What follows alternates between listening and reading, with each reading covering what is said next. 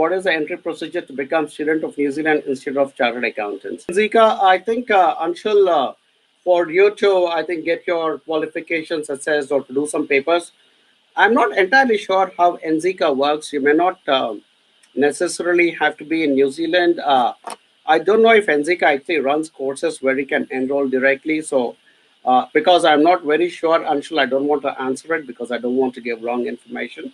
But go to their website, go to NZICA website, have a look. If uh, because to the best of my knowledge, NZICA is not a registered um, uh, by NZQA kind of uh, organ. I could be wrong. That's what I'm saying. I'm not sure.